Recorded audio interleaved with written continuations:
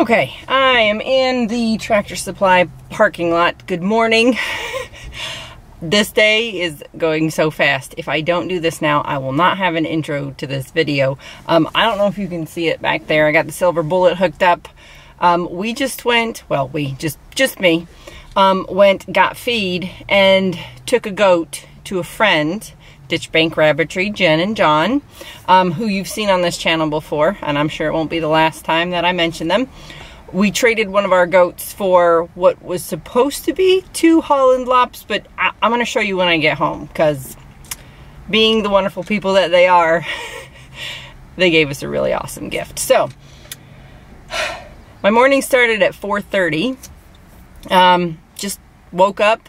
I needed to get sourdough in the oven anyway. Um, it ended up putting me, even though I got up so early, still an hour behind on the schedule, but that's okay. It worked out. I wanted to take John and Jen um, a nice fresh loaf of sourdough. So I was able to do that, get feed, hit Tractor Supply, go to Walmart, get fuel, diesel, and now I have to go home to hopefully go and pick up Davin, who's at a plant sale for her high school, FFA, before the lady who's coming this afternoon to pick up rabbits. But that's not even the end of the day or the weekend.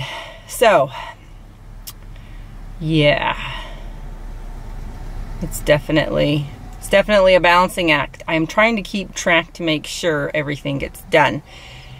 I spend all week, Matt and I both, working, and I think we put things in our minds that need to be done, which really do need to be done because there's a timeline to every year and if we don't get certain things done then we don't accomplish goals that are for actual future goals. So things just need to happen. But i'm trying to not forget anything. Even with lists even with the big whiteboard that works really well. Um, the kids have been amazing the past few weeks um, they've just really taken charge of the homestead. When Matt and I aren't there, they're making sure all the animals are well, well cared for.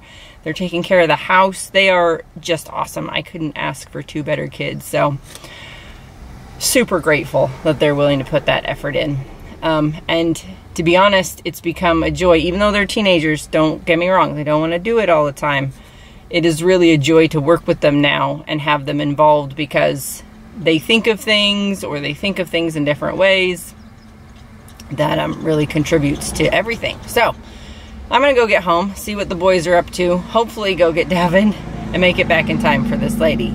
If not, I'll just wait, sell the rabbits to the lady, and then go get Davin. So I'm not even sure, but uh, I'm, I'm to start driving.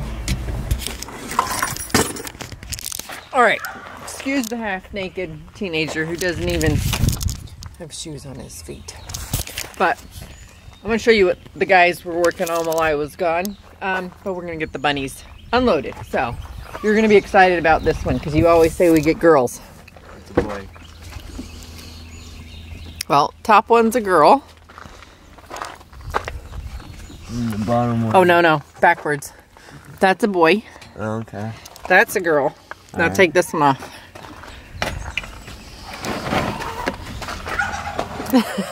Look behind it. I will. What is that? What in the world? Isn't she precious? Is... Another, we got three. Dewlops. I don't know what they are. Three Holland Lops. Oh, wow. All pedigreed. I don't know what that word means. They're fancy rabbits. That's Isn't what- that That's nice? what pedigree means? Yeah, fancy rabbit. These can be shown. Oh. Yeah. So we're just gonna put them in the barn for now, and then sister Yeah. and I will get them settled later. Very Oh, isn't she pretty? It's like moon if she was a walk. Yeah, it is kind of like Moon. They're supposed to be. They're pet. How do you open this thing? Oh, Or you just pull the little things off. You want to take her out and hold her? sure. The boy's really handsome. You can name him, since you never Oh, get I to name. name the boy. Well, you got to name one of these. What are these guys' names again? You named them like ACDC and something else. She's very soft. Isn't she? Very calm. That's good. Yep. Typical Holland. She'll, look at her eyes. She's like, what is going on? You're so cute. All right, let's get them in the shade. It's not bad, but She doesn't oh, at all. I got some more water bottles too. That's good. That's So- one of those that I'm gonna plant. Did he tell you how many they are? Two females, one male. Yep, they're all pedigreed. So you got papers on them. Yep, they have papers. They just have papers. Okay, so this is obviously temporary. Rabbits in the background are getting processed tomorrow. Um, so, oh man, it's been a long day even though it's like only halfway through the day. I think what we're gonna do is just a few more little things since we've got them settled. We're gonna be deconstructing the, what used to be the duck run. So we're gonna salvage from those pieces what we need to build a new rabbit hutch because I actually don't have any spaces for these guys. and Matt was gone, so he didn't have time to build me one yet. We're gonna deconstruct that tomorrow. But for now, I'm gonna go get some more sourdough started. Maybe chill out on the couch for a little bit. Go to bed early, get up, and I will see you in the morning. Hang on.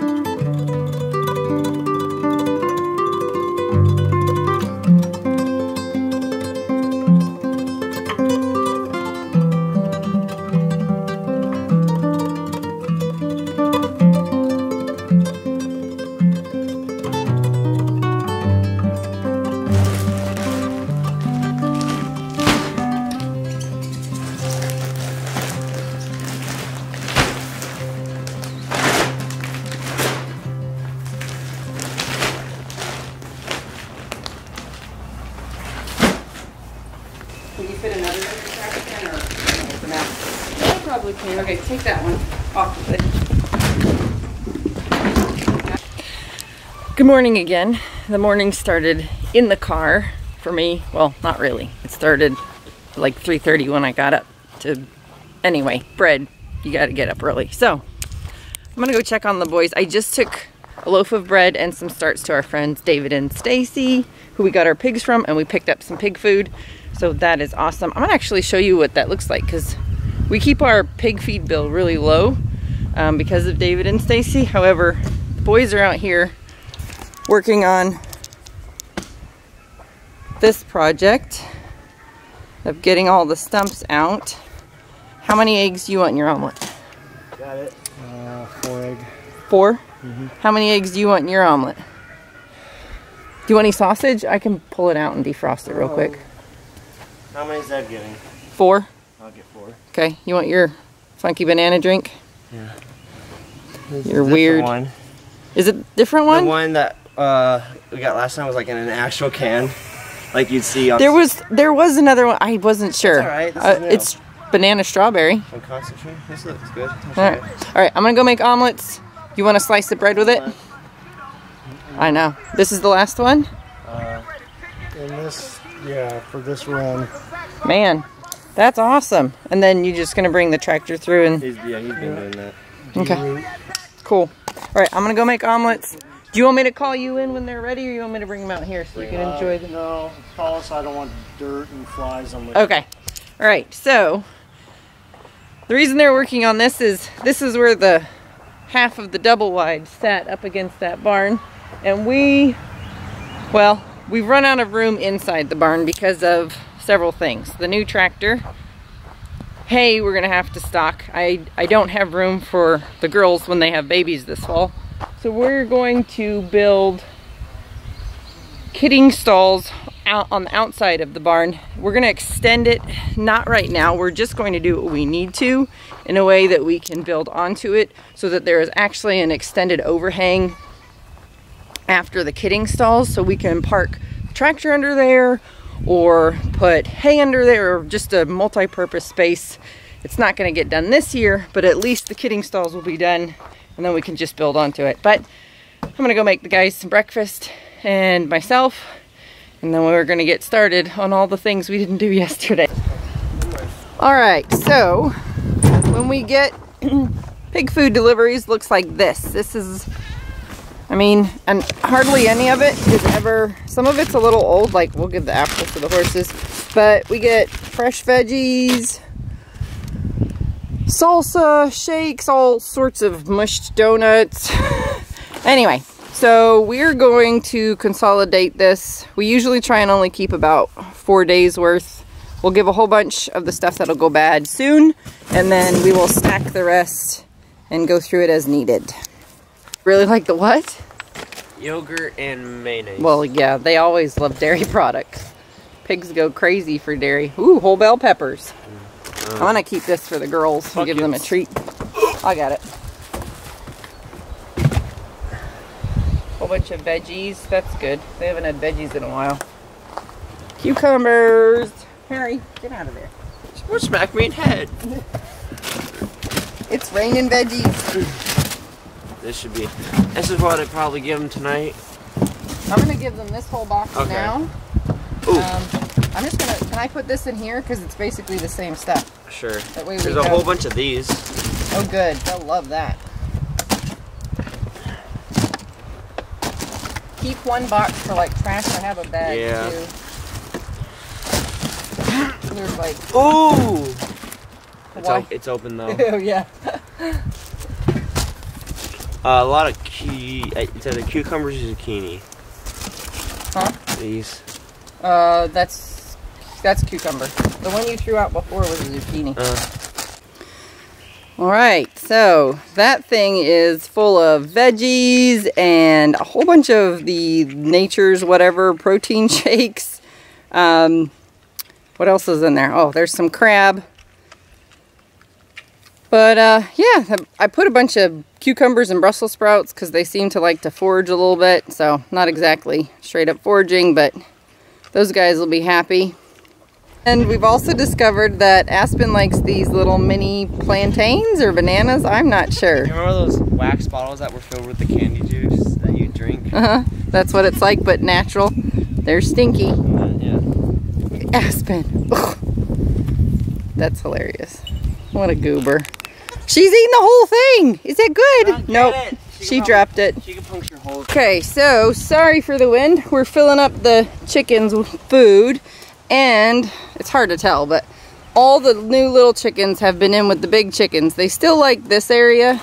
They try and come and hide here, but the whole thing has to come down because a new run and coop is going to be built here for Davin's breeding projects.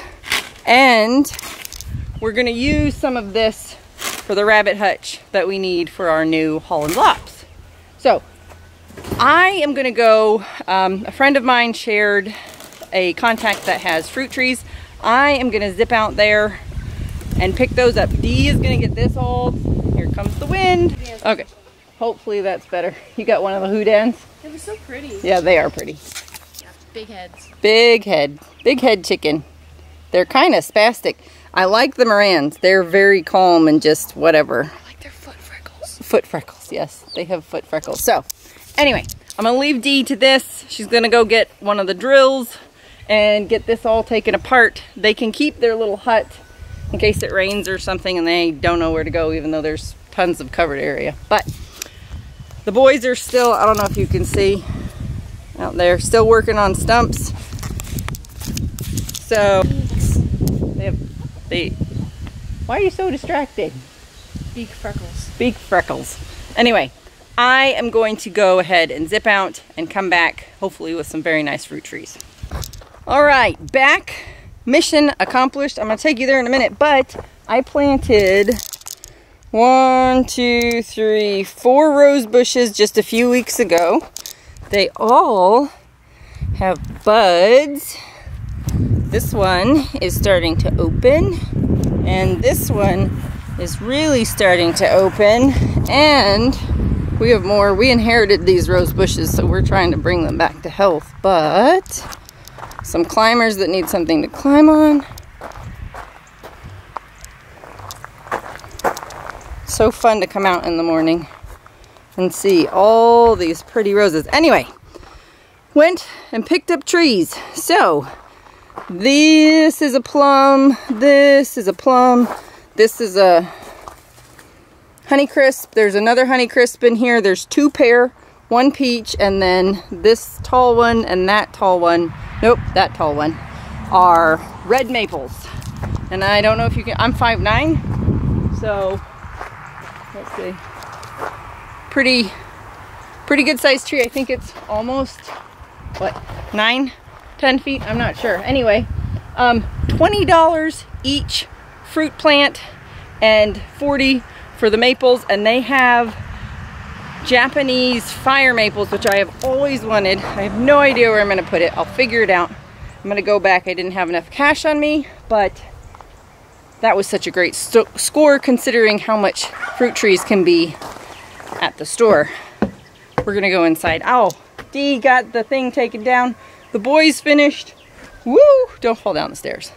Leveling out the um, area for the kidding stalls and the lean-to. I am ready for the day to be over, but we got some stuff in the mail. Okay, Harry, why are you here? Huh? Right here. Not helpful. Shoo, shoo, shoo, shoo, shoo, shoo.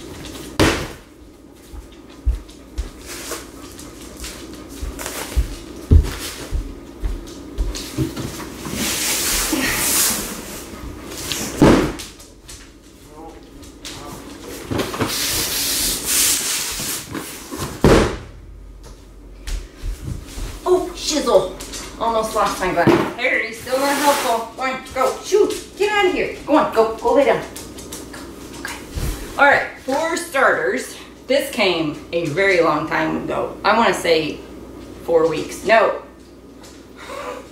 Um, from Abundant Acres Homestead. So thank you, Angie and Kenny. Their link will be down below. Definitely go check them out, especially for gardening information. She is a wealth of knowledge and Kenny's just awesome. So I sort of peeked. I have an idea of what's in here and I'm so excited because I really wanted one of the, I'm going to save the best for last. But anyway, a lovely letter. Abundant Acres looks like dip mix, dill, and there's instructions. Good, because I read those every time. Bacon, that's, you know, bacon dip is exactly what I wanted. Just kidding. Matt will eat it. Chicken poop dip mix. and Fiesta. Um, there is also a sticker. I don't know where I'm to do it. I can put it on my work folder thingy. And homemade maple syrup, which maple syrup is Matt's favorite, so he's going to probably steal that, which means I have to hide it before he does that. And I got a shirt. Whoop, whoop, whoop. Like that. Okay. Thank you, Angie and Kenny, so much. I really did want a shirt. I will wear it and not work in it and get pleats on it and things. Okay. Next thing, I've been trying to figure out ways to grow lettuce all year round because I eat quite a bit of lettuce. So I ordered some, I think these are, yeah, 15 gallon grow bags that I am going to set up and I'm doing grow bags so that I can play with moving, if I can get it open. Is it inside out? Can it be inside out? Moving these around in case I need to. So these are like a pretty much the perfect size that I was going for. So I'm going to get some stuff to fill these up. I think there's five. One, two, probably can't see me. Nope, yep, five. Five. so that is awesome. And then the big boxes, which everybody probably can guess what's in these. Because of what is coming in four, three, four weeks, more like four. Well, some of them are coming in four weeks, some of them are coming a month later. But I didn't get this book.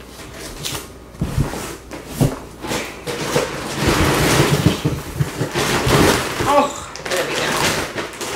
We got three more rolls of 165 foot Premier One fencing. 164. 164. Yeah, not 160. So that, I'm pretty sure this box has the third roll and, ouch.